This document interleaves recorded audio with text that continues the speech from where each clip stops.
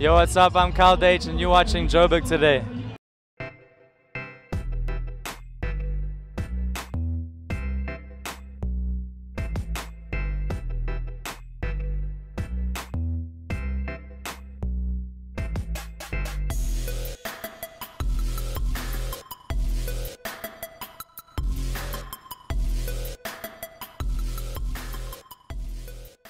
If you feel like a weekend of exploration, then why not start with the WITS Origins Center? Set in Wits University's West Campus, the Origins Center is a marvel of art, symbolism, and technology. The museum boasts 15 years of a collection of fossils, artifacts, rock art, and ancient stone tools.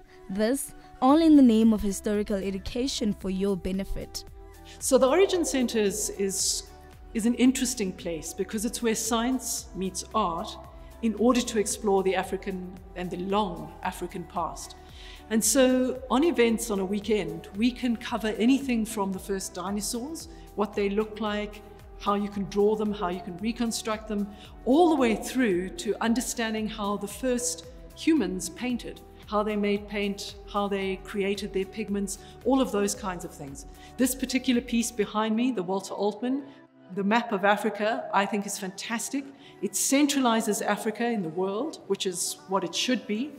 And of course, it shows then and foregrounds the fact that everything pretty much evolved in Africa and humans evolved in Africa and moved out of Africa, as did their technologies, their innovation, their art. And so Africa should be at the center of the map. And who does the center target? We try to uh, cater for all ages. So when you go through, you'll see our rock engravings. We're creating an augmented reality experience for young people. And the idea there is to get children to come in and play.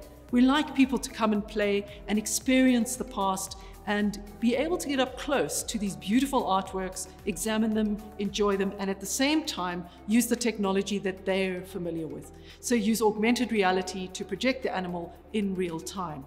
But on the other hand, also the, the older person who's really interested in the past, in understanding the long and complex history of Southern Africa, uh, of course would enjoy this kind of place.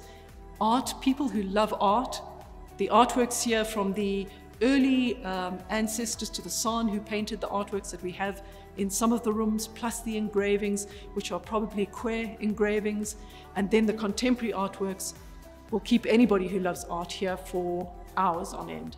The Origin Center also focuses on the cradle of humankind's past, working in partnership with Maropeng, and so certainly making this a two-in-one experience. We kind of pick up where they leave off.